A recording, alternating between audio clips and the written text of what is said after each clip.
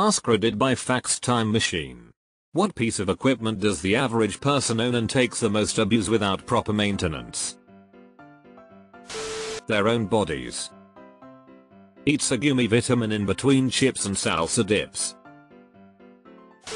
Kitchen knives, by far. Yep.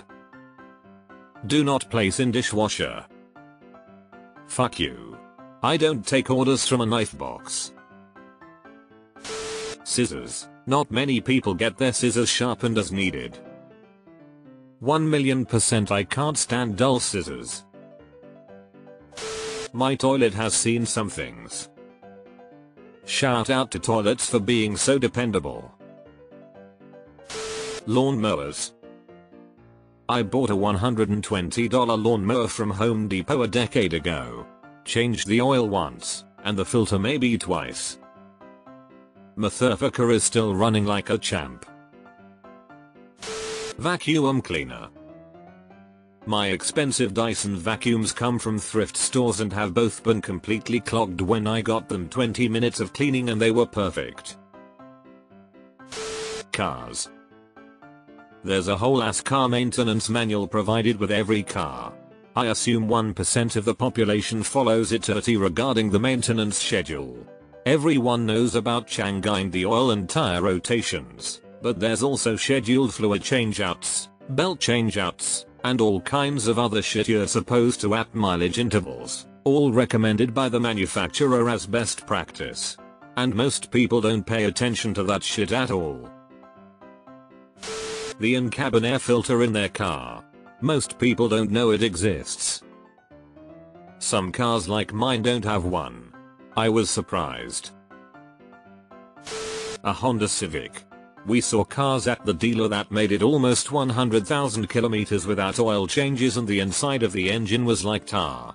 Warranty told them to fuck off even after they cried that no one explained to them that cars need maintenance. Right. Like you have never had countless mailouts and phone calls that your new car is due for maintenance. Actually maintain it and you have yourself a 400,000 kilometer car. I have a 530,000 kilometer Chevy Cavalier. I guess just from doing that maintenance.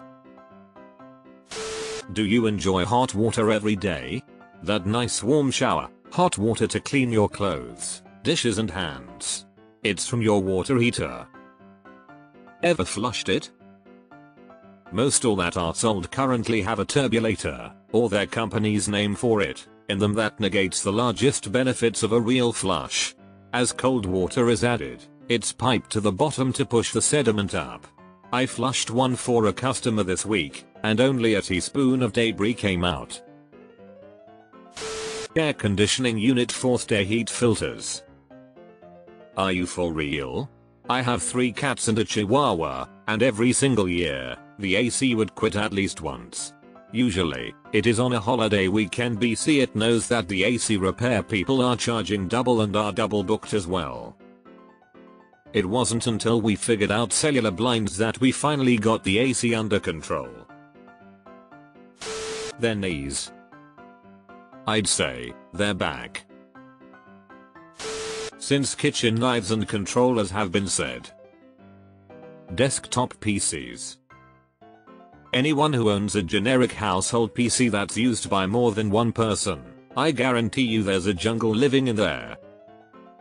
I blow mine out about once every 2 years with the garage air compressor lol. Video game controllers. If they'd build them as if they were designed for people with strong hands, I'd care a lot more. But as it is, they're built like cheap plastic crushable pieces of future garbage that mostly just implode under the weight of my extremely precise ham fists. Washing machine. They have filters just like the dryer does surprise. A hammer. Even cheap ones are almost impossible to break, and no matter how rusty they are, they will still easily whack a nail into a wall. It's a piece of metal on a stick though. Teeth. The bedroom tower or box fan that never gets shut off. I'd say that a motor with a flywheel, Fan blade assembly, that stays on all the time is probably one of the least abused things there is, at least among things with moving parts. They get dusty dirty, but unless grit or liquid ends up getting inside the rotor, it has an insignificant effect on the fan. Motors are unbelievably efficient at their rated speed, and the vast majority of wear and tear on them comes from turning them on. Fan motors specifically can run for decades with no maintenance whatsoever, especially if the power source is fairly reliable.